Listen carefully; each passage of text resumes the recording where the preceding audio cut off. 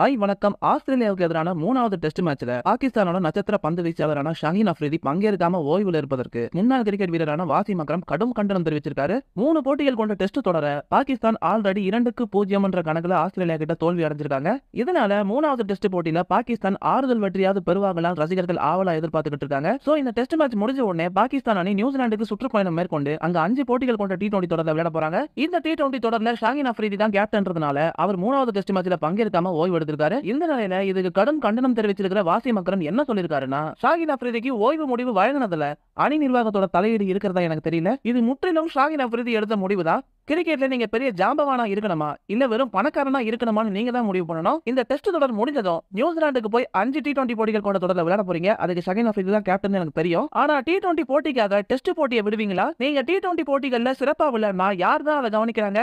நிச்சயமா T twenty போட்டிகள்ல பொழுதுபோக்கு இருக்குன்னு எனக்கு தெரியும். ஆனா டி டுவெண்டி அதிக அளவுல விளையாடுறதன் மூலமா கிரிக்கெட் வாரியங்கள் நிறைய பணத்தை சம்பாதிக்கிறாங்க. இதனால வீரர்களுக்கும் நிறைய பணம் கிடைக்குது. ஆனா கிரிக்கெட் வீரர்கள் ஒண்ணு மட்டும் நல்லா புரிஞ்சுக்கணும். டெஸ்ட் கிரிக்கெட் தான் இருக்கிறதுலயே மிகவும் சிறந்தது. சிட்னி கிரிக்கெட் டெஸ்ட்ல இருபது வருஷத்துக்கு முன்னாடி என்ன நடந்ததுன்னு கேட்டா எல்லாருமே சொல்லுவாங்க. ஆனா நேத்துக்கு நைட்டு டி டுவெண்டி கிரிக்கெட்ல என்ன நடந்ததுன்னு கேளுங்க. யாருக்குமே எதுவும் தெரியாது. அதுதான் பெரிய வித்தியாசம். இதை கிரிக்கெட் வீரர்கள் புரிஞ்சு நல்லா விளையாடணும். நீங்க கிரிக்கெட்ல பெரிய வீரரா வரணும்னா கண்டிப்பா டெஸ்ட் மேட்சை விளையாடணும். இது மட்டும் இல்லாம ஷகின் அஃப்ரீதியோட இந்த முடிவு தனக்கு பெரிய அதிர்ச்சி அளிப்பதா பாகிஸ்தானோட முன்னாள் வேகப்பந்து வீச்சாளரான வக்கார் யூனிஸ் கூட தெரிவித்திருந்தாரு. சோ மக்களே வாசி மக்களும் அவர்களும் வக்கார் யூனிஸ் அவர்களும் ஷாகின் அஃப்ரீதியோட இந்த முடிவுக்கு கடும் கண்டனத்தை தெரிவிச்சிருக்காங்க. சோ இதை பத்தி நீங்க என்ன நினைக்கிறீங்க கமெண்ட் செக்ஷன்ல சொல்லுங்க. இந்த வீடியோ உங்களுக்கு பிடிச்சிருந்தா லைக் பண்ணுங்க ஷேர் பண்ணுங்க. மறக்காம நம்ம சேனலுக்கு சப்ஸ்கிரைப் பண்ணி சப்போர்ட் பண்ணுங்க.